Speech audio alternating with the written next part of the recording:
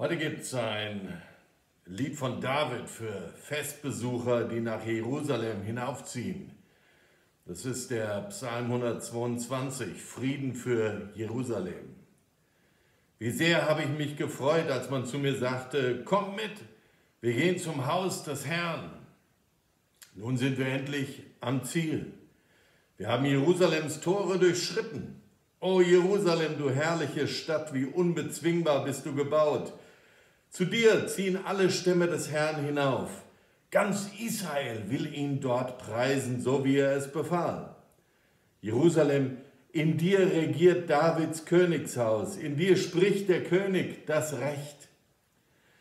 Hinter deinen festen Mauern soll Frieden herrschen und in deinen Palästen soll man sicher wohnen.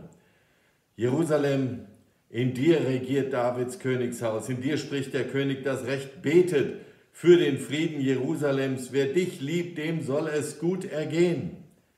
Betet für den Frieden Jerusalems, denn wer dich liebt, dem soll es gut ergehen.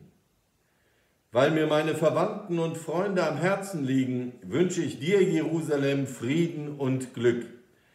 Weil in dir das Haus des Herrn unseres Gottes steht, setze ich mich für dein Wohlergehen ein. Halleluja! Heute Hoffnung für alle aus der YouVersion Bible App.